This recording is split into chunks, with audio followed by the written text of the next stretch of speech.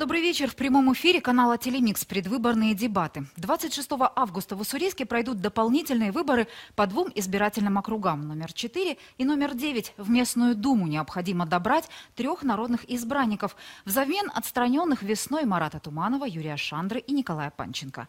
Один из новых депутатов попадет в Думу по партийному списку. Это Владимир Кутузов. Его имя уже известно. А двоих должны выбрать жители. Претендуют на депутатские кресла шесть человек. Но вот воспользоваться Пользовались своим правом на бесплатное эфирное время только наши гости. Это Александр Попов, кандидат от партии пенсионеров, и Никита Гаврилов, самовыдвиженец. Давайте с ними сегодня познакомимся, пообщаемся, ну и, конечно, позадаем вопросы. Здравствуйте, уважаемые гости, спасибо, что пришли сегодня к нам. Формат нашей программы будет таков, что э, каждому из вас будет дано время для самопрезентации в районе пяти минут. Э, ну, так как гостей у нас сегодня немного, и вы захотите высказываться дольше, можно и дольше, ничего страшного. А, ну а затем вопросы друг к другу. Также совпало, что оба кандидата сегодня идут по одному избирательному округу, а, по четвертому. И, в общем-то, сегодня являются визави друг друга, так что посмотрим, что, что нам хотят рассказать и донести нам с вами а, кандидаты в депутаты. Давайте, наверное, Александр, начнем с вами. С вас мы подготовили короткую справку. Пожалуйста. Попов Александр Сергеевич, 7 апреля 1992 года. Место рождения – село Сергеевка пограничного района Приморского края. Место жительства – город Владивосток. Образование высшее – ДВФУ, Восточный факультет. Основное место работы – строительная компания «Домус», директор. Ну, это очень короткая информация. Пожалуйста, расскажите о себе подробнее. А, спасибо. В принципе, всю основную информацию уже про мою биографию уже сказали. А, я бы хотел немножко рассказать о том, э, чего я хочу, что я хочу сделать и какие цели преследует наша партия. Сегодня социальная, экономическая, демографическая ситуация в стране продолжает бросать вызов э, большинству граждан России. Российская партия пенсионера за социальную справедливость считает, что неотложных решений требуют именно внутренние проблемы – это обеспечение достойной жизни и создание условий для активного долголетия. А, наша партия собирается предпринять некоторые меры э, для, для этого. Во-первых, э, наша партия намерена блокировать попытки поспешного, непродуманного механического повышения пенсионного возраста граждан России. Назрела необходимость принятия серьезного политического и финансового решения. И опираться на данное решение должно именно на мнение народа. А, во-вторых, настало время принимать максимальные меры для решения проблемы бедности. А, надо добиваться от Федерального собрания Российской Федерации разработки и последовательного принятия комплекса важнейших нормативных актов, а, таких как э, законы об основных гарантиях социальных прав граждан, старшего возраста, Пенсионного кодекса Российской Федерации, Социального кодекса Российской Федерации. В-третьих, всю систему российского здравоохранения вообще нужно лечить. А, материальный достаток пациентов и их отдаленность э, от центра не должны влиять на качество и доступность медицинских услуг. А, при этом для самих медиков нужно создать по-настоящему комфортные условия труда. Пора потребовать от Минздрава принятия действенных мер. В-четвертых, нужно сформировать и начать реализовывать общенациональную программу формирования уважительного отношения к людям старшего возраста. А, ввести в оборот термин «права пожилого человека». Добиваться этого следует с использованием возможностей СМИ, учебных заведений, органов государственной власти, а, деятелей культуры и искусства, представителей религии, религиозных организаций. И последнее. А, в Российской партии пенсионеров за социальную справедливость убеждены, у государства достаточно реальных и социальных справедливых источников доходов. Если их профессионально, честно и системно реализовывать, можно обойтись без дальнейшего обездоливания неимущих. А, для этого партия будет противодействовать попытками э, представителей финансово-экономического блока правительства Российской Федерации и поддерживающих его депутатов всех уровней вводить новые налоги, сборы и платежи для пенсионеров и, для пенсионеров и иных а, социально незащищенных категорий граждан. А, наша партия, в частности, и я сам, несмотря на ее название, мы настроены на самое активное молодежное участие в решении всех связанных с политическим и экономическим будущим нашей страны. В принципе, это все, что я хотел рассказать. Так коротко. Ну, мы поняли, что это презентация программы партии ну, на местном уровне. Э, что вы хотите видеть от Ус- в Уссурийске, от Уссурийска, каким образом здесь лоббировать те интересы, которые вы сейчас только что э, озвучили? Все-таки вы собираетесь в Думу Уссурийска. Законодательная инициатива, безусловно, существует у наших депутатов, но все же можно еще немного о себе, но уже в разрезе Уссурийского городского округа. А в разрезе Уссурийского городского округа можно проводить всю ту же самую работу. Я скажу больше, что ее нужно проводить. А на самом деле я уроженец этого города, я провожу тут больше времени, э, большее количество своего времени. И мне на самом деле э, иногда больно да, смотреть. Я прохожу на улице, ну, на обездоленных людей. Я понимаю, как нужно помочь им, какими способами это можно сделать. И поэтому все то, что я выше перечислил, то оно все реально осуществить в рамках нашего муниципального образования. Очень интересно. Послушаем вас чуть позже. Сейчас мы передаем слово вашему оппоненту. Это Никита Гаврилов. Наша короткая справка. Затем он сам себя представит. Гаврилов Никита Александрович, 4 декабря 1994 года. Место рождения – город Ленск, Республика Саха, Якутия. Место жительства кандидата – город Уссурийск. Студент ДВФУ, магистратура прикладной математики и информатики. Никита, вам слово. Да, здравствуйте. Э, Действительно, я родился в городе Ленске, но всю свою сознательную жизнь я прожил в Уссурийске.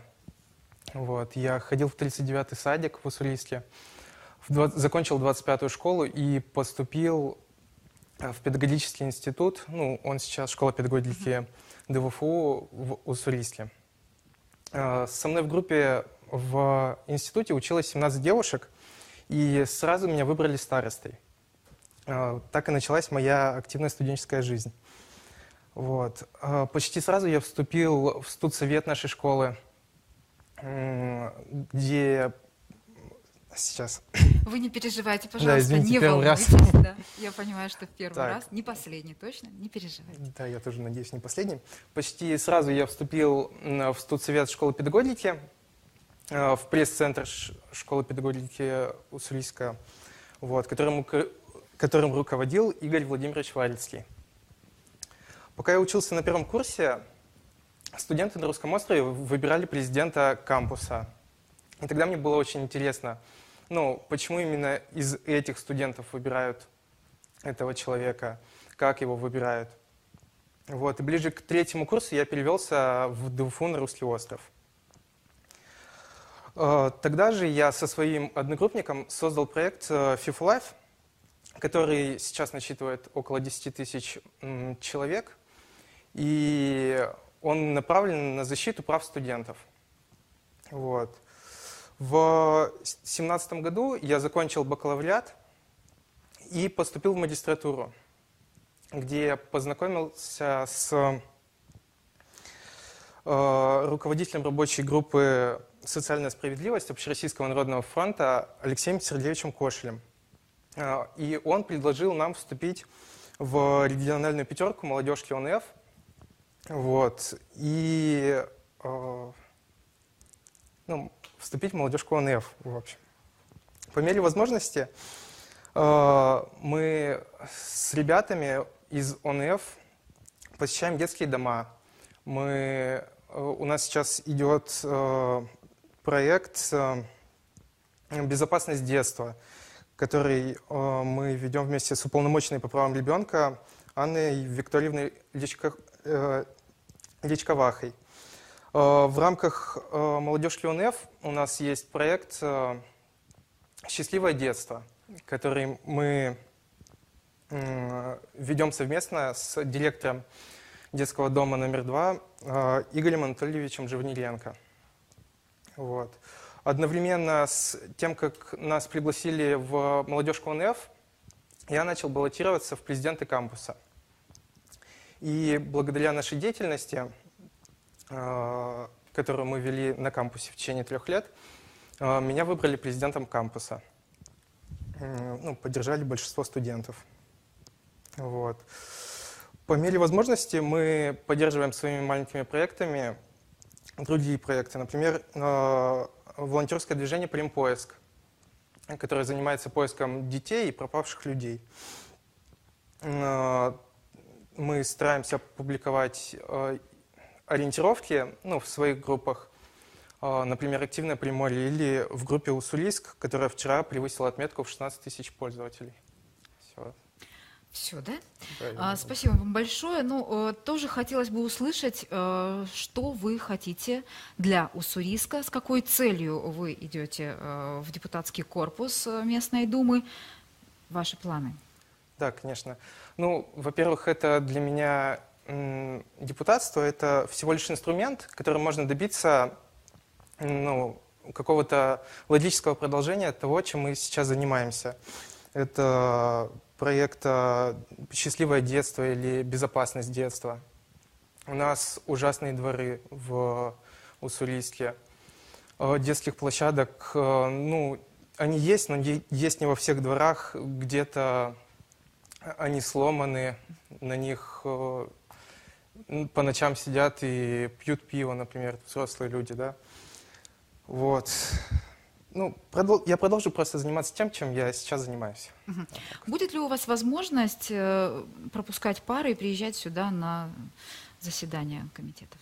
Э, Я думаю, это вообще не проблема, так как я уже переводился из школы педагогики на остров Русский. Точно так же я могу перевестись с острова Русский в школу педагогики. Тем более тут очень хорошие преподаватели.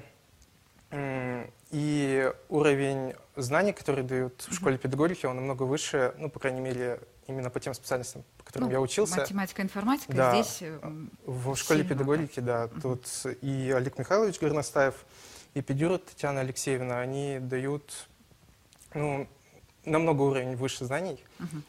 В общем, для вас не проблема, если Да, я что, поменять э, место пребывания, скажем так, и служить народу.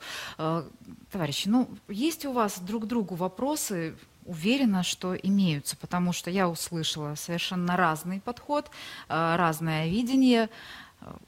Кто первый? Я хотел бы, если можно, еще дополнить. Конечно, конечно, А, Я пожалуйста. вхожу в состав Совета молодежи при Думе Уссурийского городского округа. Также я оказываю юридические э, консультации бесплатные а, при приходе храма Покрова Пресвятой Богородицы. То есть это наша центральная церковь, которая находится на русском рынке. Мы оказываем э, консультации и помогаем реальным э, решениям и проблем. То есть это, опять же, это в основном это старики и слабозащищенные категория граждан, у которых просто попросту нет, ну, нет денег. Ни для кого не секрет, то, что юридические услуги, они стоят достаточно большие суммы.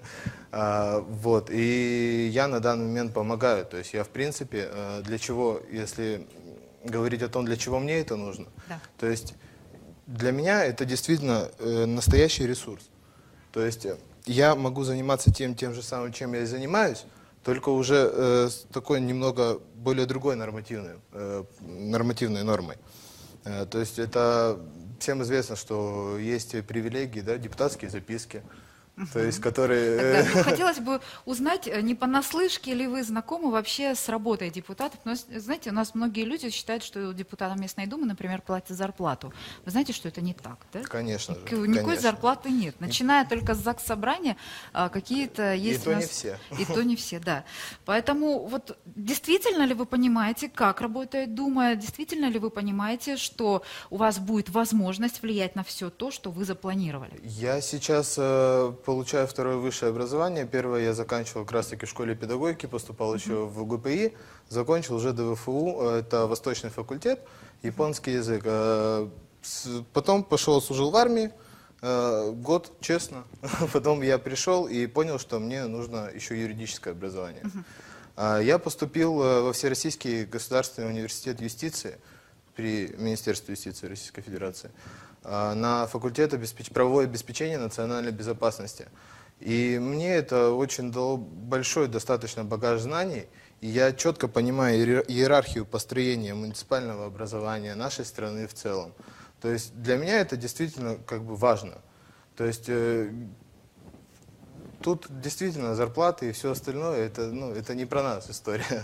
Когда вы поняли, что хотелось бы представлять волю народа в неком органе официальном? Я сейчас в силу э, своих, э, как бы можно сказать, деятельности, да, которые я оказываю, бесплатные юридические консультации, я и так тесно контактирую. То То есть это управление градостроительства, наша администрация. То есть э, вопросы часто встают это э, в земельном отношении. И то есть вот в этом направлении я очень плотно работаю, поэтому для меня это То есть вы видите бреши э, в законодательстве местном, опять же, да, касаемо Конечно, земельного конечно. права, а, какие-то, может быть, э, бюрократические препоны в связи.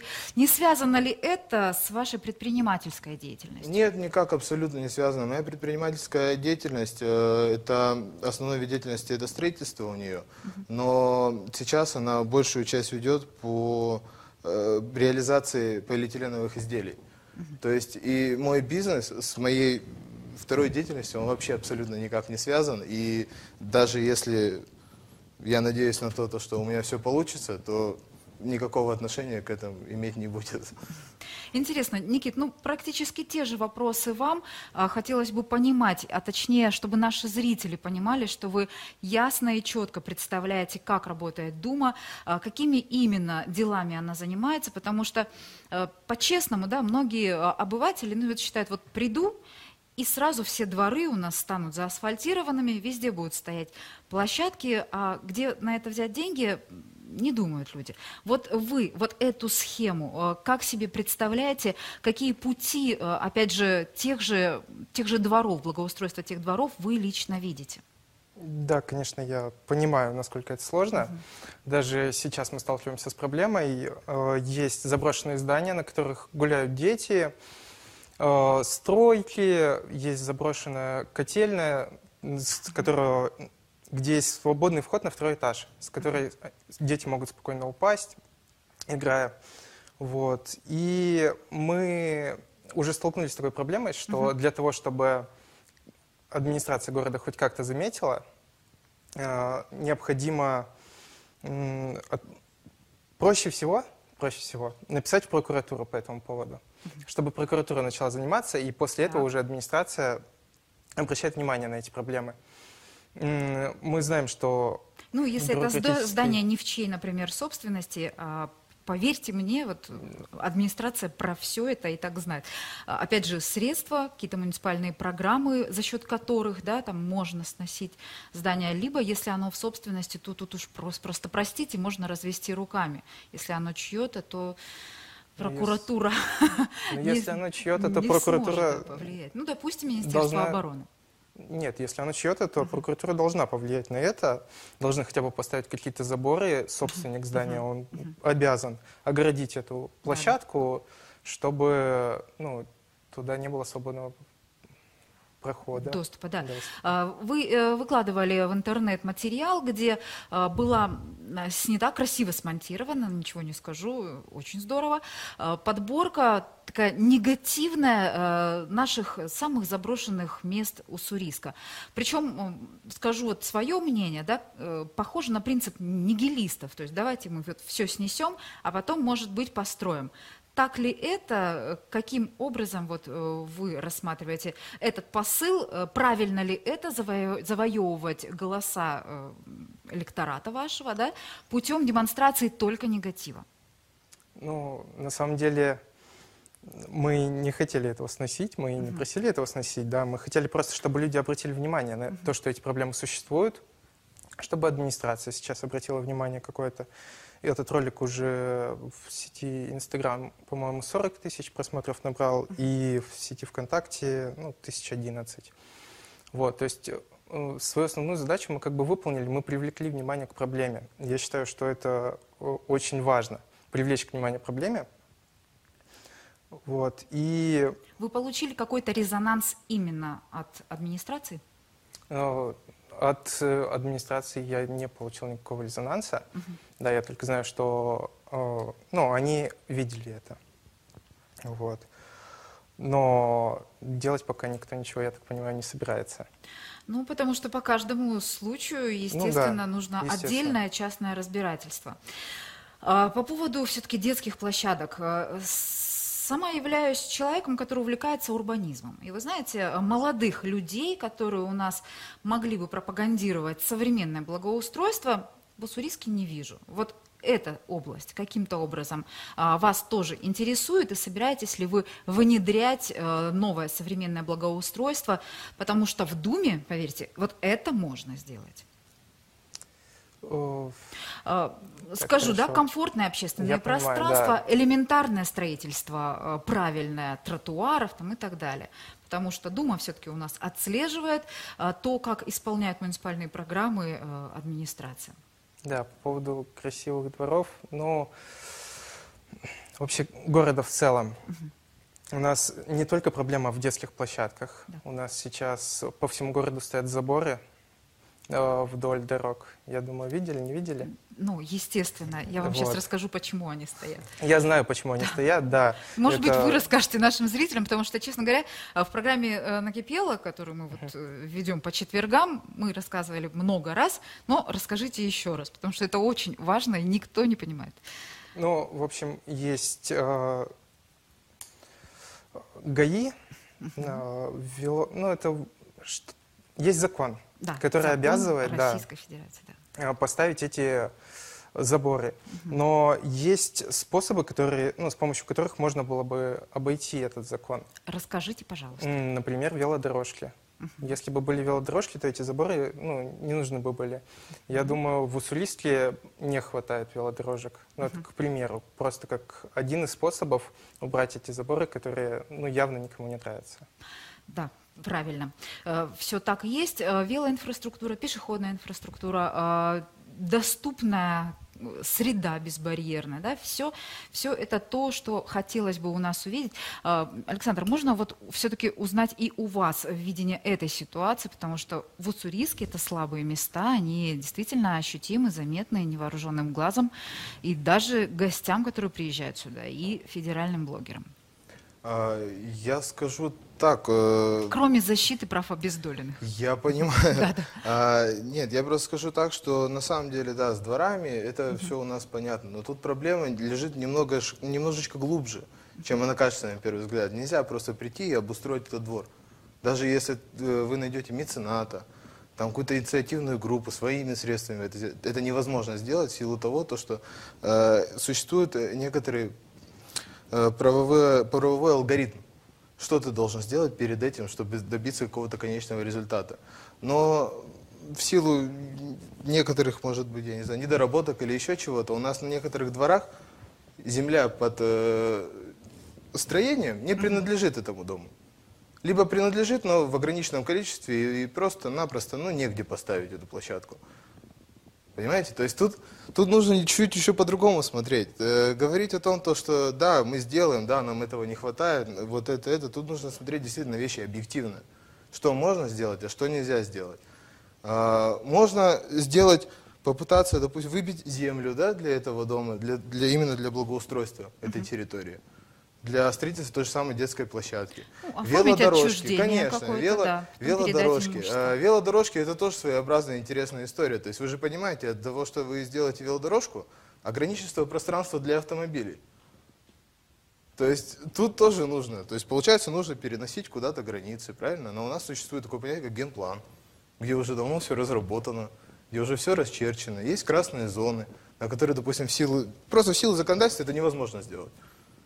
Александр, ну, в связи с этим я уверена, что вам эстетические заборы тоже не нравятся. Ну, я не встречала еще ни одного человека, может быть, вы исключение, которым они нравятся. Я не вот ис- каким образом э, вы бы влияли на ситуацию? Я не испытываю, конечно, к ним неистовой любви, но все равно я считаю, что эта мера, она все равно обусловлена. И в том плане, допустим, я очень часто, я автомобилист, я очень много времени провожу за рулем. Я очень часто вижу, как мама идет разговаривать по телефону, в другой руке держит мороженое, а ребенок бежит в сторону дороги. Вот как минимум, вот это хорошо, то, что он там есть. То есть ребенку нужно время, чтобы хотя бы перелезть через этот забор. Я видел то, что они в хаотичном порядке расположены. Как бы вот это да, вот это минус. Ну, и то, что их хочется назвать оградками, да? ну они да, дизай- над дизайном можно было бы поработать, конечно, и сделать как это все это А, эстетично. В общем, я понимаю, вы бы хотели их убрать, вы бы хотели их оставить. Да? Все понятно. Еще какие-то есть вот абсолютно э, непримиримые э, в ваших позициях моменты? С чем вы не согласны со своим оппонентом, вы? Я сейчас не согласен с тем, что это безопасно идти заборы. Э, Я тоже, поверьте, потому что все-таки современный подход, он, э, честно говоря, вот полностью может объяснить, почему, э, например, на безопасность, к сожалению, это никак не влияет. Но это вот отдельную программу, А честно, когда честно. происходит ДТП? А я вот приглашу, Не дай бог, я- конечно. можно приглашу вас в программу «Накипело», когда мы выйдем в новом сезоне, и поговорим про эти заборы отдельно, потому что, правда, есть что сказать. Сегодняшнее эфирное время все-таки хотелось бы потратить на представление ваших программ и видение э, развития Уссурийска в будущем. У нас, кстати, осталось ну вот буквально 3-4 минуты прямого эфира. Еще что-то хотите добавить? В принципе, все. Благоустройство. Благоустройство, содержание и ремонт дорог. Все ли вас устраивает? Я Хотели хотел бы вы это изменить? Я хотел бы спросить у своего оппонента, э, если э, вы пройдете, все-таки выиграете выборы, э, в какой бы вы хотели э, отдел быть, в каком комитете состоять при Думе Уссурийского городского округа, будучи депутатом? То есть на что именно влиять? Знаете, да, вот все-таки вопросы там разные, где-то социальная сфера, где-то То сфера есть это формирование бюджета, экономика, либо финансы. это- Вообще я больше по молодежной политике, я думаю, потому что... ну, Социальная сфера. Да, социальная сфера. А вы, Александр, где себя видите? Я бы себя видел как раз-таки в благоустройстве, градостроительстве, экологии и коммунального хозяйства. Потому что вот именно там у нас есть э, вещи над тем, чем можно поработать хорошо. Какие именно И пробелы вы видите? Вот А это- что конкретно, а, к тому же зная юридическую э, подоплеку, да, какую-то базу, э, как вы понимаете, можно решить проблемы, которые вы видите? Это надо отдельную передачу. Тоже отдельная Это передача. нужна отдельная передача. Конечно же, нюансы есть. То есть, и как раз-таки все то, что, о чем мы выше разговаривали, э, вот в этот департамент это, в принципе, все и входит в этот раздел. То есть это и благоустройство, и градостроительство. То есть ну, не секрет, за что отвечают у нас градостроительство и благоустройство, также коммунальное хозяйство. То есть тут действительно можно очень долго и много об этом говорить, и нужно рассматривать все на конкретном примере. А, Освоение муниципальных средств, э, к ним у вас есть вопросы? Ну вот, э, считаете ли вы его эффективным? Исполнение муниципальных программ, все, все- все эти данные, они, конечно, доступны по истечению каждого там, депутатского года. Конечно, ну, они осваиваются. Я не знаю, конечно, как, как э, сколько средств и тратится, допустим, на каждую отдельную программу, но все равно, тем не менее, э, это работает. То есть, в принципе, то, что сейчас происходит, оно работает. Э, это вот вы говорили про вот этот вот дом, я тоже, мне довелось посмотреть видео, а мне, вот у меня вопрос был, то есть, а это не переселили этих людей? из ветхого аварийного жилья. А Вы по- где этот дом какому взяли? То есть у нас, о есть, у нас действительно конкретно? есть как бы программы. И в принципе все вот эти заброшенные здания, ну не все, но часть из этих заброшенных зданий, они действительно они просто находятся в стадии разработки. А эти люди уже давно для них построили дома. То есть э, домов строится на самом деле достаточное количество. То есть это э, строительные компании выигрывают тендеры, то есть и муниципальные программы есть для этого. Их расселяют этих людей. Вот вы нашли этих людей? Почему вы сняли именно этот дом? По улице Адеева, да, людей не расселили, там живут люди, действительно, вот. Скорее всего, да. Программа начинала э, работать э, гораздо раньше, до 2012 года, и все, кто не подал документы, они в программу просто не вошли. Будет ли продолжение этой программы, ведь средства используются федеральные, а не муниципальные. Ну, мы будем надеяться, ждать, потому что еще очень много жителей, конечно, ждут расселения. Ну что ж, спасибо большое, уважаемые гости, что пришли э, к нам, рассказали о себе. Удачи вам на выборах. Э, Уважаемые телезрители, напоминаю, 26 августа, не 9 сентября, 26 августа по округам номер 4 и номер 9 э, пройдут выборы, дополнительные выборы в Уссурийскую думу. Ну а мы с вами увидимся в новом сезоне. Уже смотрите программу «Накипело» с сентября. Всего вам доброго, до свидания.